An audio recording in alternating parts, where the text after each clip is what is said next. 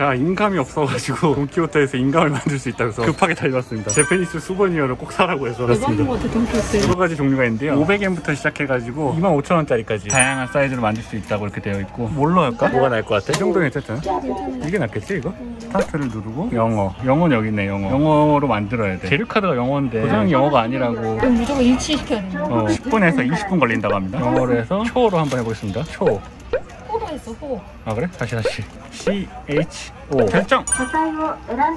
이게 제일 낫지. 깔끔하고. 네. 두께를 할 수가 있대. 너무 두껍게 말고 왜냐면 이거 건지면. 이, 가 그냥 하천이니까 이걸로 할까? 아까 13번이었지. 목재. 현금 그러니까. 1,000원짜리로 들어갑니다. 카드는 안 되죠? 자 진행 중입니다. 조각 CG 완성까지 약 7분 정도 걸린다고 나옵니다. 진짜 신기해 어떻게 엄청 신기 이게 왜 수출 안 해? 일본에만 있기 너무 아깝다 자, 동그라미가 다 그려졌고 이름을 새기고 있어 CHO를 열심히 새기고 있습니다 이제 제법 CHO의 글자가 잘 보이지 않습니까? 2분 20초 남았습니다 장인 정신이 느껴지는 제조업 한국 거의 다 했습니다. CG를 보여주면서 아주 지루하지 않게 보는 사람을 즐겁게 해줬습니다. 10초 뒤에 완성된다고 합니다.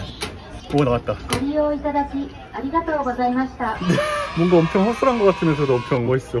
네. 괜찮지? 뭐 이 정도면 됐지 뭐 한 가지 아쉬운 거는 이 남성의 두께. 이거 하는 게 나을 것 같았는데 여성의 추천이 아주 귀여운 예쁜 소장이 나왔습니다. 다음에 만약에 한다면 이걸 하는 게 나을 것 같아 남자는 뭔가 멋있어. 까만 게자 완성!